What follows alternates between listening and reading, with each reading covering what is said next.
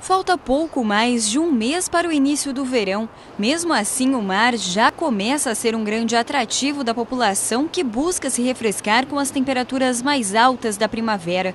Para garantir a segurança dos banhistas, o Corpo de Bombeiros em Laguna está realizando um treinamento com os novos guarda-vidas. O Ramon vai atuar nas praias do município pelo segundo ano consecutivo. Para ele, a função é muito importante. Pela vontade de salvar as pessoas aqui e também porque sempre vai ter alguém precisando da gente aqui, né?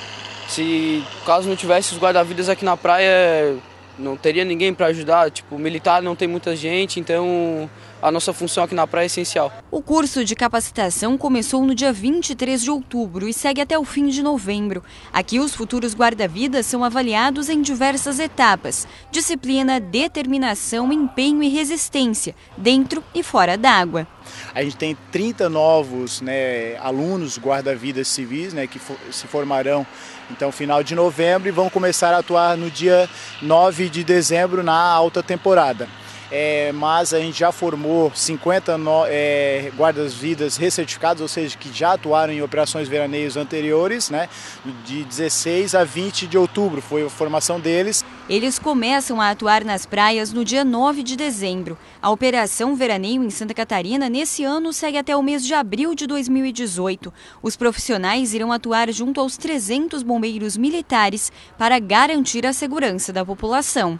A partir desse feriado, as pessoas já começam a ver os guarda-vidas nas praias. A medida é necessária, já que com o retorno do calor é preciso a presença desses profissionais nos balneários para fazer a segurança dos banhistas.